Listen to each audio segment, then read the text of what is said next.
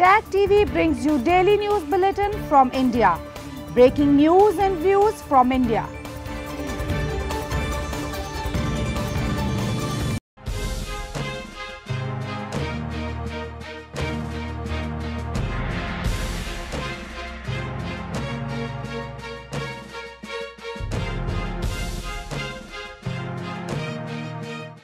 Good evening. Welcome to South Asia Newsline. I'm Shivangi Mishra. Here are the top stories we are tracking for you on Wednesday, the 22nd of June. Australian Defence Minister meets Indian counterpart in New Delhi to boost ties.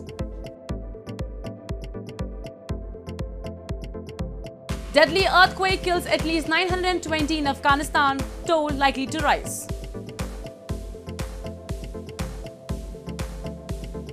And crisis at Sri Lanka plans donor conference with China, India and Japan. And now for all the details. Australia's Defence Minister Richard Marles held talks with his Indian counterpart Rajnath Singh on Wednesday in New Delhi to enhance bilateral defence cooperation. Marles is on a four-day visit to India to boost ties between the two countries. Australia's Deputy Prime Minister and Defence Minister Richard Donald Marles was accorded a ceremonial guard of honour on Wednesday as he arrived for talks with Indian Defence Minister Rajnath Singh in New Delhi. Marles is on a four-day visit to India to enhance bilateral cooperation between the two countries. During the meeting attended by India's top defence officials and Australian dignitaries, Rajnath Singh said bilateral defence cooperation is an important pillar of comprehensive strategic partnership and an important factor of stability in the Indo-Pacific region. Bilateral engagements have diversified across a wide range of cooperation areas from political exchanges to defense partnership. Recently concluded free trade agreement, commerce, joint research, culture and people-to-people relations. Definitely, bilateral defense cooperation is an important pillar of our comprehensive strategic partnership. Defense and security cooperation is an important factor of stability in the Indo-Pacific region. Earlier on Wednesday, Marles held talks with India's Foreign Minister S. Jaishankar. They both agreed on the importance of strengthening strategic partnership to effectively address contemporary challenges, Jaishankar said on Twitter. On Thursday, the Australian Defence Minister also laid a wreath at the National War Memorial in New Delhi as he paid his respects to the soldiers killed in armed conflicts post independence of India.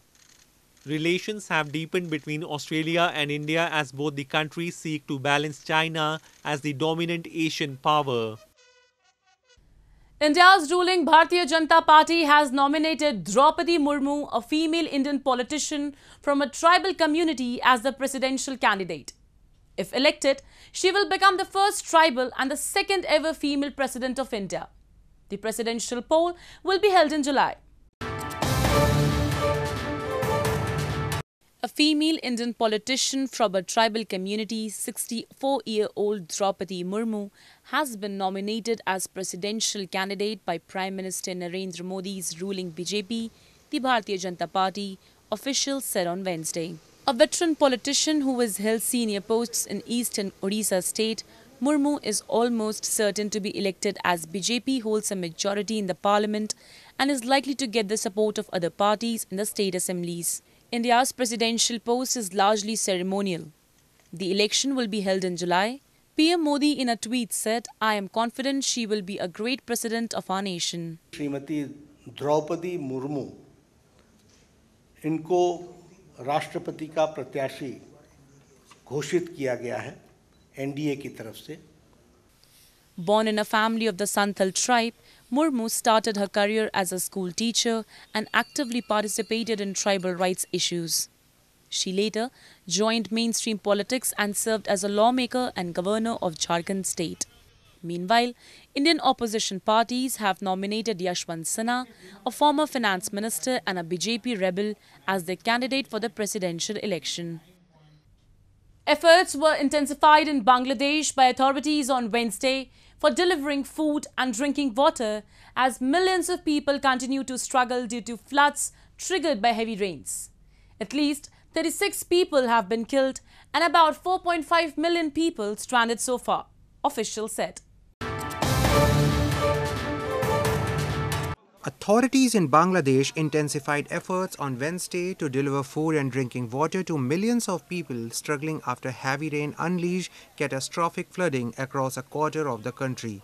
Air Force and Army personnel were engaged in providing emergency humanitarian relief as at least 17 of the country's 64 districts, mostly in the northeastern Sylhet region, were reeling from the natural disasters, officials said. Authorities said at least 36 people had been killed and about 4.5 million people stranded so far. The floods are also threatening to disrupt agriculture, infrastructure, and clean water supply.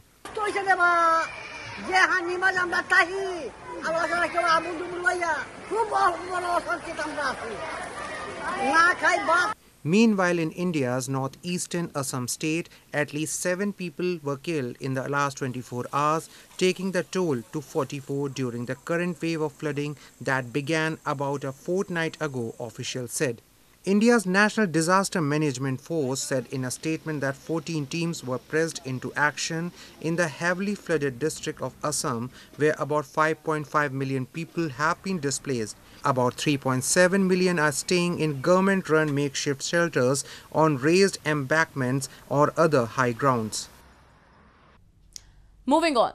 Political activists and locals recently held a massive protest rally in Gilgit Baltistan over rising inflation in the illegally occupied region. That has made life difficult, especially for the poor. Some of the protesters said that the storm of inflation has fallen on the people like an atom bomb. Political activists of the Awami Action Committee and local residents in Gilgit-Baltistan recently held a protest over soaring inflation and against the abolition of subsidies which are particularly hitting the poor and middle classes in the illegally occupied region. The protesters claimed that due to a cut down on subsidies on a number of food items, including wheat by Pakistan government, the inflation has gone through the roof. They accused the Pakistan government of pushing more and more people into abject poverty through its failed economic policies. सत्तर बहत्तर साल रहे, कभी देंगे, कभी वो देंगे, कभी वो यही देंगे। कुछ भी नहीं देना। इन हुक्मरानों ने कुछ भी नहीं देना। हमें उन्होंने मामू बना के रखा है। तो मैं कभी सब्सिडी के नाम पे देंगे, कभी वजीरा देंगे, कभी मुशीर देंगे, कभी ये आपको ये मरा देंगे। ये मरा कुछ भी नहीं देंगे। The protesters said the subsidies given to them are not a charity but an obligation set by the UN charters since it is a disputed territory. They said Pakistan government has repeatedly turned a blind eye to the problems faced by the people and territories under its illegal occupation. In news from Afghanistan, an earthquake of magnitude 6.1 killed at least 920 people in Afghanistan on Wednesday, officials said, with more than 600 injured. The toll was expected to rise as information trickled in from remote mountain villages. Helicopters were deployed in the rescue effort to reach the injured and fly in medical supplies and food, Salahuddin Ayubi, an Interior Ministry official, said. Wednesday's quake was the deadliest since 2002. It struck about 27 miles from the southeastern city of Khost, near the border with Pakistan. Most of the confirmed deaths were in the eastern province of Paktika. Haibatullah Akhundzada, the supreme leader of the ruling Taliban, offered his condolences in a statement. The disaster comes as Afghanistan grapples with a severe economic crisis since the Taliban seized power last year and has been cut off from much international assistance because of sanctions. In news from Sri Lanka, Sri Lanka's Prime Minister Ranil Wickremesinghe on Wednesday told the parliament that the country will call India, China and Japan to a donor conference to drum up more foreign assistance to find a way out of its worsening crisis. He added, once an agreement with the International Monetary Fund is reached, the government would focus on a plan to increase the country's exports and stabilizing the economy.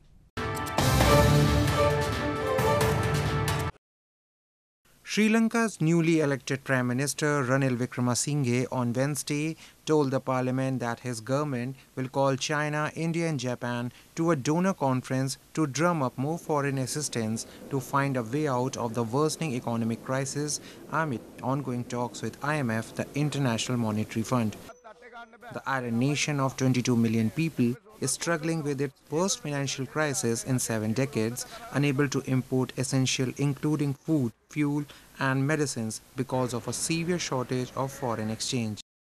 Wickremesinghe said that they have made progress and discussed multiple points including fiscal policy, debt restructuring and direct cash transfers with the IMF and the staff level agreement is likely by the end of the month. It is no easy task to revive a country with a completely collapsed economy, he said, calling for opposition support for his economic recovery plan.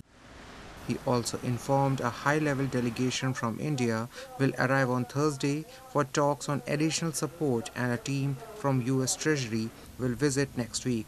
India has so far provided around $3 billion worth of assistance, including a 400 million US dollar swap and credit lines totaling $1.5 billion.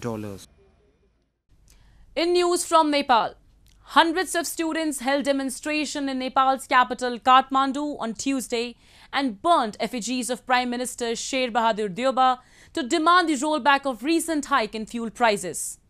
Nepal's annual retail inflation has accelerated to a six-year high, raising the risk of social unrest.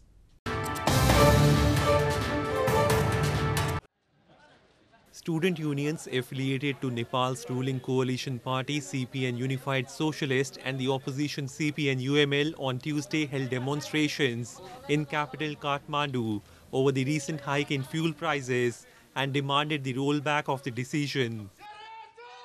In a sign of growing public discontent over rising inflation, the protesting students held a torch rally for a second day and burnt effigies of Prime Minister Sher Bahadur Deuba and the finance and supply ministers and demanded their resignation.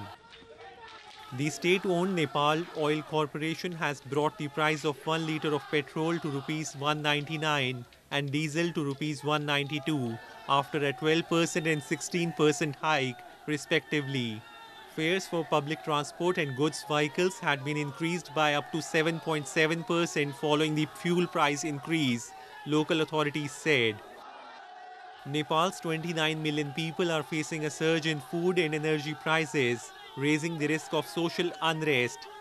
Annual retail inflation accelerated to a six year high of 7.87% in mid May. Earlier on Monday, Supplies Minister Dilendra Prasad Badu told a parliamentary committee that the fuel price hike was necessary because of an increase in global oil prices and to help the loss-making NOC to pay for import.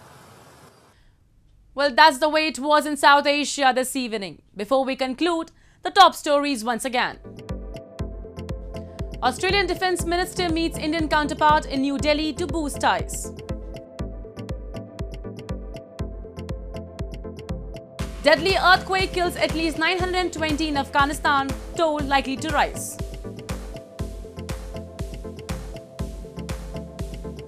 And crisis at Sri Lanka plans donor conference with China, India and Japan. Now our viewers can watch the show on SouthAsiaNewsline.com. You can also visit us on Facebook.com slash SAsiaNewsline and follow us on Twitter at SAsiaNewsline. That's all in tonight's edition. We will see you same time tomorrow. Good night.